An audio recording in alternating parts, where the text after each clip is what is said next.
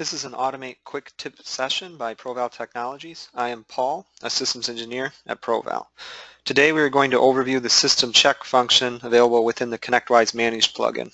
The system check ensures that sites, contacts, clients, and so on are properly synced between ConnectWise Automate and Manage. Running this from time to time can ensure a smooth integration between the two products. Uh, to run the system check, uh, you need to open the ConnectWise plugin. Uh, once it opens, you can click System Check uh, towards the bottom left hand of the screen.